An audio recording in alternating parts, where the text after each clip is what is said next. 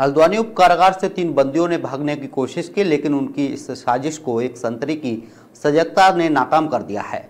Jail से भागने वाले तीन कैदी उत्तराखंड मध्य प्रदेश और बिहार के हैं।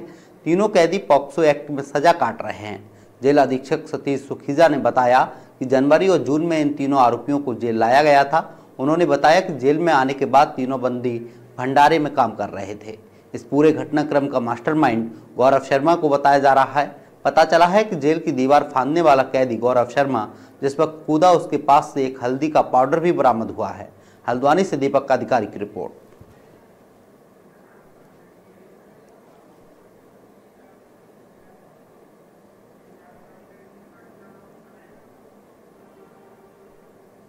आज सुबह जेल खुलते ही ये घटना हुई, क्योंकि जिस जगह से वो छत पे चढ़े थे वहाँ जिस सिपाही की ड्यूटी थी, वो आने में थोड़ा उसे विलम्ब हुआ, जिस कारण बंदियों को मौका मिला और वो दो लोग छत पे चढ़ने पे सफल हुए। एक आदमी हैंडल टूटने की वजह से नीचे अंदर ही गिर गया। उन दो में से भी एक आदमी एडमिनिस्ट्रेटिव ब्लॉक पे आ गया और दूसरा आदमी इलेक्ट्रिक फेंसिंग से पार नहीं कर पाया, वो वहीं फंस गया।